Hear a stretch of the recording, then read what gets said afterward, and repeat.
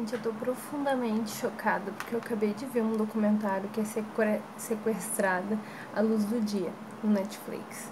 E eu vim direto fazer esse vídeo pra vocês porque vocês têm que ver. Eu nunca fiquei tão chocada. Eu li o livro da Lolita, eu vi todos os filmes e o cara é um se trata de um documentário de um pedófilo e ele simplesmente imita todo o método e técnicas que o protagonista do livro do Vladimir Nabokov faz. Eu fiquei chocada, porque o livro certamente é muito mais terrível do que os filmes que fizeram as, as adaptações românticas. Gente, sério, eu tô muito chocada. Vocês têm que ver. Ele é um homem que se. É normalmente, né? Sempre é assim um homem muito inteligente que se chega na família, chega na mãe, principalmente no pai, tem uma família também, tem um álibi, é, assim, tem uma boa vida, um bom dinheiro, tem mulher, se passa nos anos 70 e é uma história verídica, um documentário na Netflix. E eu fiquei chocada com capacidade, claro, hoje em dia não é mais assim. Eu espero fazer um bom vídeo para vocês, porque é sério, eu fiquei completamente chocada com esse vídeo, assim, não tem outra palavra, sinistro. Eu fiquei uma hora e meia parada olhando com o olho regalado. É muito tenso e chocante. A psicopatia que uma pessoa pode ter. Eu acho que é um dos piores pedófilos. Não sei, olha, uma coisa terrível demais. Então é um cara que tem um certo álibi e coisa e tal. Então ele chega perto da mãe e o que eu ia dizer, naquela época não se tinha nos anos 70 como se tem agora esse cuidado com essas coisas, com pessoas, com abuso infantil, não existia muito isso. Era uma coisa muito tipo, ah, muito raro de acontecer um em 100, um em 500, sei lá. Muito, muito diferente de agora. E também não se noticiava tanto.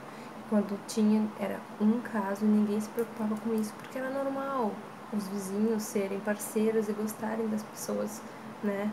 Um, entravam na tua casa e coisa e tal. Então, esse cara foi se chegando. Eu não quero dar spoiler, porque eu quero muito que vocês vejam. Eu não quero dar spoiler mesmo eu vou tentar me segurar.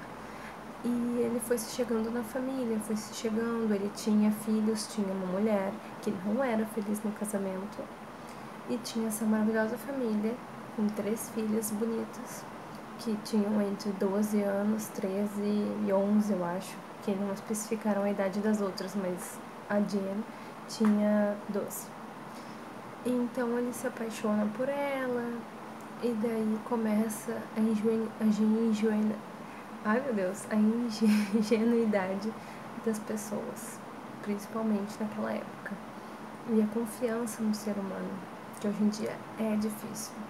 Tu tem que confiar demais em certas coisas que é muito complicado, ainda mais com os filhos, porque a gente tem que tomar muito cuidado com essas coisas, porque são uma série de fatores que a pessoa vai te apresentando e tu não vai desconfiando que eu fiquei chocada durante o documentário, porque são coisas que tu pensa, eu nunca deixaria acontecer isso com meu filho, e de fato, nunca deixaria. Só que como é outro tempo, como é uma situação diferente, e o cara era muito carismático, era falastrão, e te apresentava um outro prisma daquilo ali, e manipulava como se fosse um bonequinho, tu ia ou não ia fazer? É isso que a gente tem que pensar. Eu gosto muito de me pôr no lugar dos outros e não ficar dizendo, ai que trouxa, ai eu não faria isso, nossa que burro, por que, que ele fez isso, por que, que ele fez aquilo. Eu acho que a pessoa tem que pensar bem, tem que pensar no parâmetro que a pessoa está se encontrando, o que, que a pessoa está vivendo, que época a pessoa está vivendo, tem toda uma diferença. Então eu acho isso bem importante antes de sair julgando os outros nessas situações.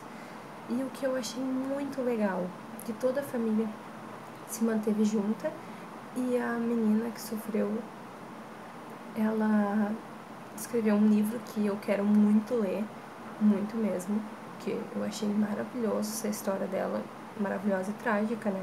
Mas assim, muito fantástico que ela conseguiu dar a volta por cima. E ela faz palestras e coitada, aconteceu tanta coisa com ela depois que eu não posso dar spoiler. Mas, sério, gente, eu espero estar tá cativando vocês para ver esse documentário, porque é sensacional. Eu tô olhando aqui pro computador porque eu tô perplexa. Eu vou ler a sinopse. O documentário relata a história verídica de uma família que tem a família adolescente sequestrada a filha adolescente sequestrada duas vezes pelo vizinho aparentemente inofensivo. Um vizinho com óculos, meio careca, simpático e que tem sucesso sempre por onde passa. Não sei, gente, esses são os piores, porque é onde não aparenta que tem.